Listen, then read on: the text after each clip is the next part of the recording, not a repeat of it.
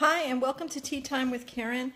Today I'm going to show you um, the sauerkraut that I made. I know it's been a while, but I had no room in the refrigerator to put it, so I let it ferment longer, but that doesn't seem to have affected it. So this is the sauerkraut. I already opened the jar because I like to do it over the sink in case it explodes, but it didn't explode, but it's already open.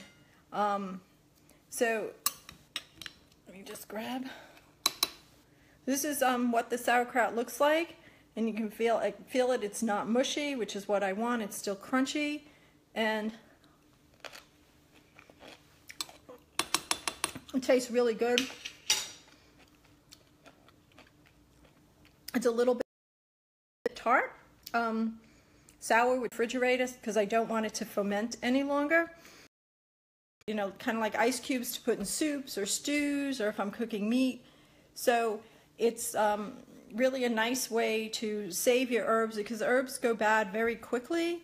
And if you're buying a little just for cooking or you're getting, then you don't want to throw out the whole bunch. So this really is nice. I just put in the Vitamix, make it into little ice cube trays, and then have it later on. So kind of like I did with the peaches, but this is now going to be used in different recipes.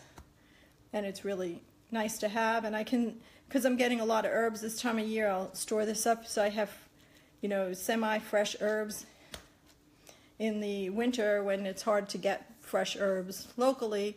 That, so I'll have these um, ready to go. Anyway, that's it for Tea Time with Karen, and I'll see you tomorrow.